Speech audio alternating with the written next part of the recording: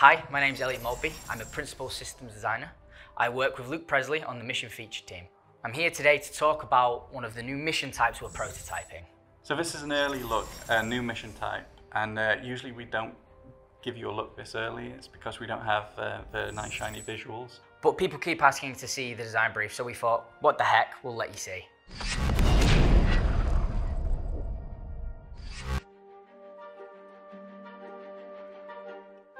So a mission is built out of objective types. Um, and the mission type really is just the most critical or um, challenging objective in that mission. Currently, we have a number of mission types in the game. Some of these are not built in that modular sense. Some of these are very much uh, bespokely built to test out a feature at one time. The original PI Wanted is one of those. Uh, the current mission types that do exist is we have deliveries, which are essentially a form of collect and drop off. We have uh, eliminate missions, which is just kill someone, and eliminate ship missions, which is go there and kill a, you know, destroy a ship that has a person inside of it. And there's many more. The way we see missions is they're comprised of little bits of gameplay. So, for example, we have missions where you're sent to kill a singular person or pick up a box or kill a bunch of enemies. So the way how we build our missions is we combine these together. So we'll have missions where you have to pick up a box, but we'll have enemies there that you have to kill as they're kind of like an obstacle uh, for you to get around. That isn't to say that you can't build a mission out of a single objective. Um, the assassination mission, for instance, has one objective, assassinate a target. But even the most um, like simplistic mission, like the delivery mission, is actually built out of two objectives. There's the collection of the item and the delivery of the item. And if we made the collection of that item like even more difficult, we'd refer to it as a collect mission rather, rather than a deliver mission. So our objective types uh, for the time being, have been pretty simple. You know, kill this person, go here, do this. Uh, until now, we're now looking at doing one of the most complex type of objective and gameplay things we, have tackled in MFT. With that said, we're working on a new mission type, and that's investigation.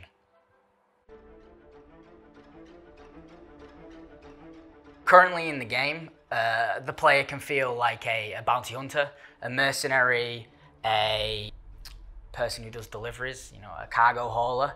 Uh, we want to make them feel like a detective as a new route. You know, the, we're expanding constantly. We're building mining, salvage, and detective is going to be our focus in MFT. The experience we want to give players with investigation mission is that they feel like a detective, that they feel like they're um, collecting evidence that will ultimately answer the question that has been posed to them, and that they're able to kind of search through the evidence and find the red herrings um, and and like choose the, the right answer. So what we want is we want to build a mission that um, requires you to have to think, requires you to have to look around, search your environment in detail, look at each individual clue and make sure you fully understand it before you make your decision as the detective. And there'll also be uh, red herrings thrown in there. So evidence will really have to be like poured through, poured over to be able to determine whether it's actually credible or not. We also wanted to um, create narratives around our locations that we haven't done before, like really dig into like why has this derelict become a derelict? Or why have all the ship's crew come to be dead? Or why has this cargo gone missing? At the core of this mission, we're really asking the player to use their brain rather than their gun or their ship. So for this mission type, I don't want to breadcrumb players along. I want you to feel like a detective. I will give you a story, I will give you little bits of clues, and you have to make up this full sort of painting and decide exactly what has happened here. And then the rest of the decision is on yours. I might not tell you if it's wrong or right, you might find out the idea is that you feel like a detective and you're so sure of your decision that you're going with that. So the next stage in this whole process is building a pitch. You know, uh, we have to come up with our ideas, how we want it to work, and then we have to present it to uh, CR, Tony, and Todd, and make sure they're all happy with it and all of our visions are aligned. So when we're building the pitch, we start off by going, over the ideal experience we want for the player. We start off with the the most advanced things, all the gameplay mechanics we could dream of to bring this sort of role to life as a detective. Uh, and then we have to start looking at stripping it back to see when we can release it, what's the minimum viable product for this uh, experience. And in the case of the investigation mission, we came up with two. So the first pitch is extremely simple and it um, revolves around being able to find a definite answer, like something that is undisputable. Um, for instance, we came up with a mission where um, there is a repairman that's gone missing, and you can go to his office and you can find some correspondence that will lead you to another place, which will have their his um, like work itinerary on there, and it, they're all crossed off until one. And if you're smart, you'll go to that location, and should you go to that location and do a little searching, you'll find his body there and he's been like electrocuted, fixing the, the final thing on his list. And there's your definitive ending. Whereas the second pitch, um, it's more about allowing the player to choose when they're done, like when they think they have solved the, um, the mystery. And um, the way we do this is um, we scatter evidence around the the location and clues that lead you to that evidence. Um, and obviously, there can be um, red herrings in there.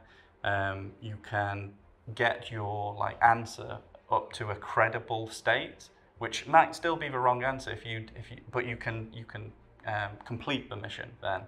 Whereas if you'd have carried on digging a little more, maybe found a few more clues and followed them, you would perhaps find an indisputable um, piece of evidence, like, you know, I did it kind of thing, um, that would get you like the bonus for the mission.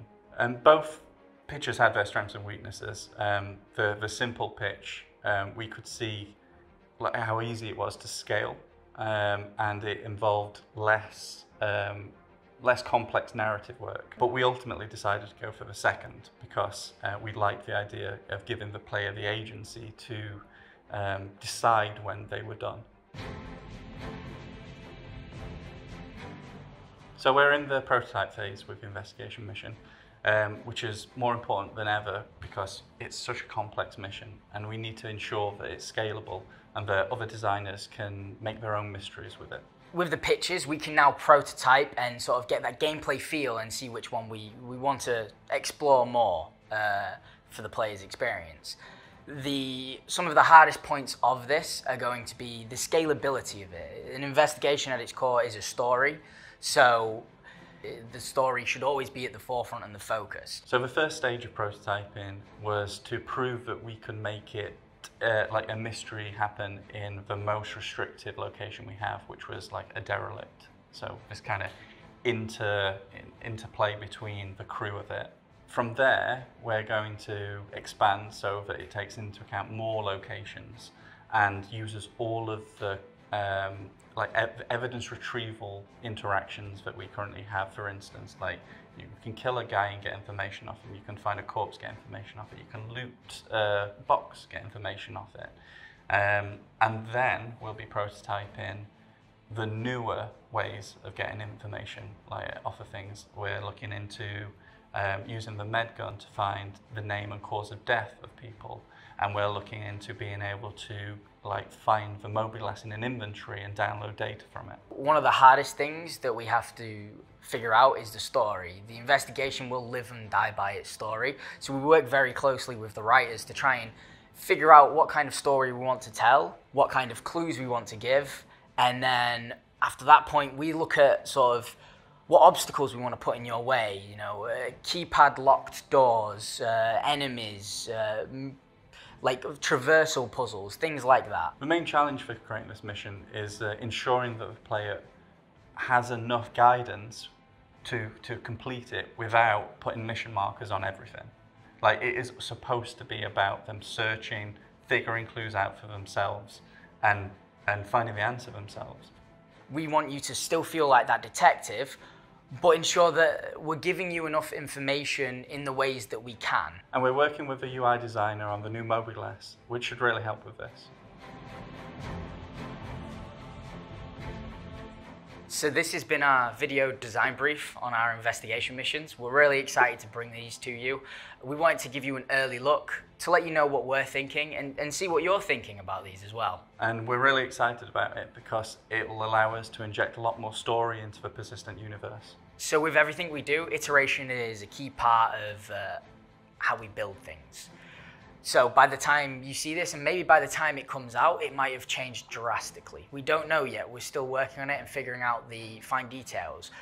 But player experience and player agency is at the focus of what we're trying to achieve. We're really excited and hope you are too. And I'm sure we'll be talking about this again in the future.